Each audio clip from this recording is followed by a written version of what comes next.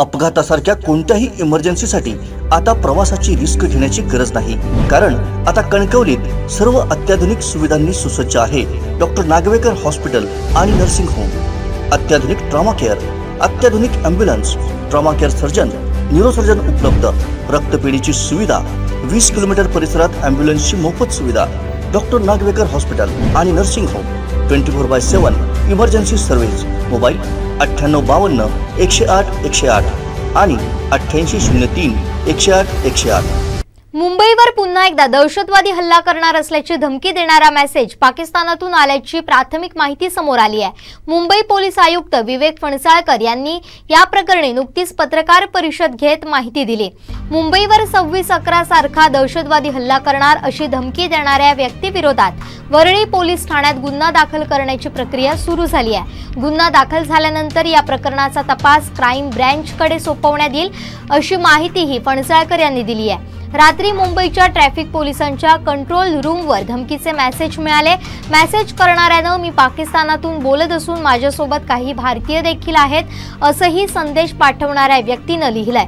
शुक्रवारी रात्री कंट्रोल रूमला हे मेसेज आल्यानंतर मुंबईतील अवघी पोलीस यंत्रणा अलर्ट झाली आहे. मुंबईकरांच्या सुरक्षिततेला आव्हान देणारा कोणताही कॉल आम्ही दुर्लक्षित करणार नाही तो गांभीर्यानं घेत आहोत. दहशतवाद विरोधी पथकासोबत आम्ही वेळोवेळी माहिती शेअर करत आहोत असं आश्वासन विवेक फणसाळकर यांनी दिलं.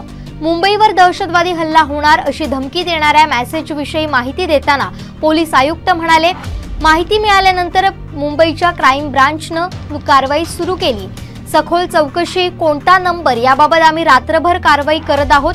या संबंधानं मुंबईच्या वरळी पोलीस ठाण्यात गुन्हा दाखल करण्याची प्रक्रिया सुरू आहे. दाखल झाल्यानंतर तपास क्राईम ब्रांचकडे सोपवण्यात येईल.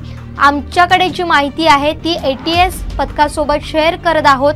बाकी एजन्सीच्या संपर्कात आहोत. यात ज्यांनी हे मेसेज केलेत सर्व अँगल्स तपासात आहोत.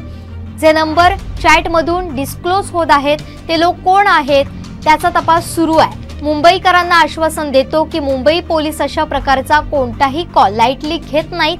अत्यंत गंभीरपणे याकडे पाहत आहोत. मुंबईकरांना कोणती क्षती पोहोचणार नाही यासाठी आम्ही काम करत आहोत. मुंबईला उडून देण्याची भाषा कसाब आणि अल जहारी सारख्या व्यक्तींचीही यात उल्लेख या संदेशामध्ये आहे. या संदेशामधून त्यांना काही नंबर्स दिलेत ते भारताचे आहेत. या सर्वांचा तपास आम्ही करत आहोत. अशी माहिती देण्यात आली आहे. संपूर्ण कोकणसह जगभरातील ताज्या घडामोडी सर्वात प्रथम पाहण्यासाठी कोकणचं नंबर वन महा चॅनल कोकण सात लाईव्हचं युट्यूब चॅनल सबस्क्राईब करा आणि लेटेस्ट अपडेटसाठी बेल आयकॉन क्लिक करा.